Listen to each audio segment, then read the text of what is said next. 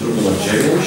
Opiniuje się pozytywnie wniosek dotyczący ponownego zawarcia umowy na inwestycje z Urzędu Miasta Krakowa 22 grudnia 2013 roku. Umowa wygaszła 5 stycznia 2014 Dziękuję. Otwieram dyskusję.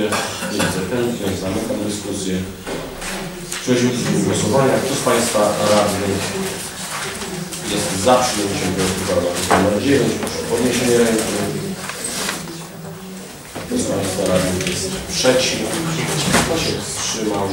Stwierdzam, że Rada Gminna przyjęła uchwałę numer 9.